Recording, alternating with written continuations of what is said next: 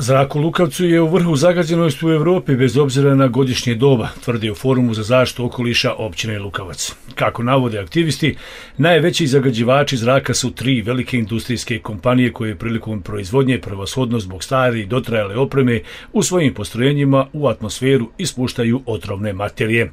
Sa dolaskom jeseni, naravno zime, zrak će biti još zagađeniji zbog individualnih ložišta, sve starih automobila koje vozimo i prisutne prašine, koja opet nije direkt direktni produkt rada industrijskih postrojenja. Analize kažu da se za oko 11% okoliš zagađuje na ovaj način, dok 89% otpada na industriju.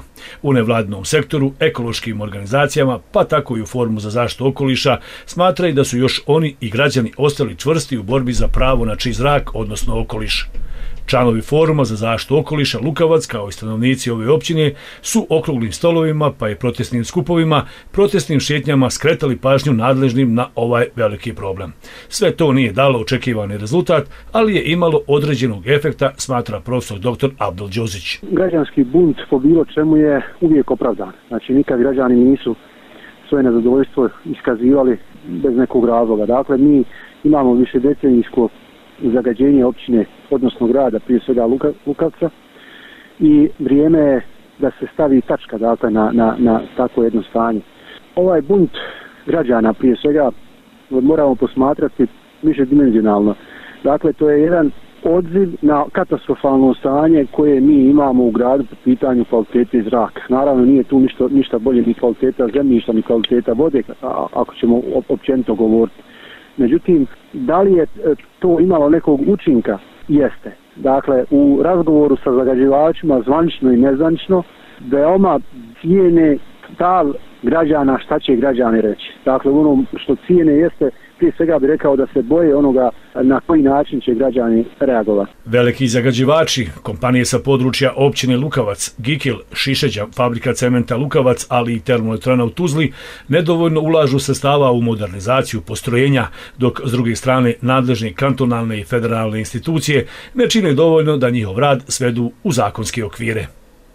Dvije godine i deset mjeseci radi Gikil bez okoliške dozvole Ako su oni u pravu, onda ministarstvo je u krivu što i ne da. Ako nisu u pravu, zašto rade ovaj, bez okolinske dozvole toliko vremena? Ima li jedna institucija da može bez validnog papira da radi toliko vremena?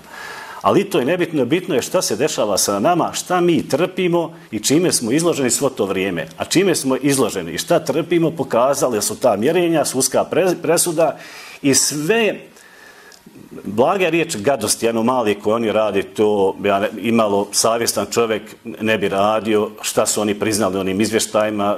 Količina štetnih čestica u zraku je već odavno preko granica normalnih vrijednosti, navodi u forumu za zaštitu okoliša općini Lukavac. U saradnji sa Zavodom za javno zdravstvo Tuzanskog kantona i Ministarstvom zdravstva u vladi TK došli su do zabrinjavajućih podataka o broju oboljelih građana općine Lukavac u posljednjim godinama. Posebno je zanimljiv drastično povećanje oboljelih od pojedinih bolesti, ali to što je sve više slučajeva respiratornih oboljenja kod beba do godinu dana. Prije par dana smo dobili podatke koji su nas onako ponovo ovaj, stavili u jedno stanje razmišljanja i da se borba mora nastaviti.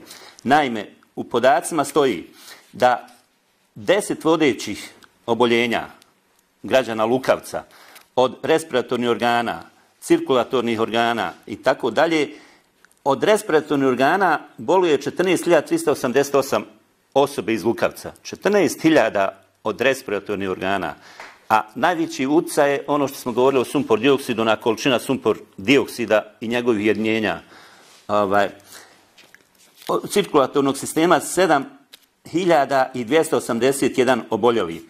I tako 10, tamo je na devetom mjestu bolesti oka, bolesti uha, ukupno je bolesno 39.580 osoba.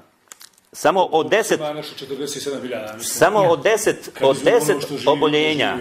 Znači od 10 vodećih oboljenja koje sam nabrojio od respiratornih organa do bolesti uha registrovano i tačno se vodi 39.580 osoba. Od toga je od tih 10 bolesti umrlo 335 osoba u 2018. godini. I gledajte sad, od svih ostalih oboljenja umrlo, oboljilo je ukupno 4.861 osoba u, u, u, u općinu Lukavac. Ukupno je umrlo 486 od svih ovih bolesti.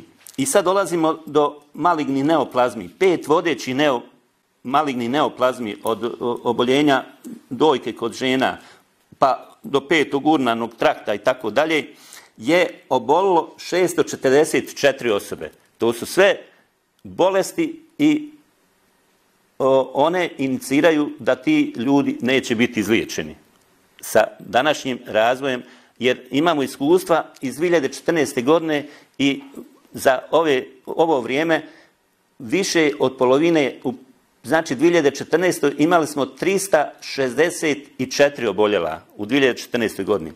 U 2018. 644 oboljela od tih pet vodećih malignih, odnosno od karcinoma. I povećanje je za 57% od prilike. Umrlih od ovih karcinoma je 111 u 2018. godini. I pogledajte, u 600, zašto govorim da su ovo od 644 koji su registrovani početkom godine i do kraja godine iznosi 644, odnosno do neki dan, 644 registrovana oboljela od karcinoma, od toga je 111 do sad umrlo od tih oboljeli u 2018. godini. U forumu za zaštu okoliša su posebno razočarani izostankom podrške sa lokalnog nivoa te od nadležnih kantonalnih i federalnih organa, jer je njihova obaveza da štite interes građana. Uzalu su i mnoge prijave federalnoj upravi za inspekcijske poslove, jer nisu donijele očekivani rezultat i korist građanima.